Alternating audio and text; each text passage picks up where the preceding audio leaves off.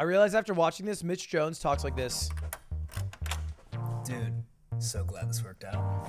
There's so much space. Holy crap, I didn't know there was a patio. That's L. Hey, do we know anyone in a band? We should have shows here. We should get a sick ass mirror. Hey, have you met the neighbors? I bet they're chill. Housewarming party, like what? In a month? Check out these stickers. I say we keep them. Should we get DJ equipment? Turntables would be ill. What? They didn't even tell us about this.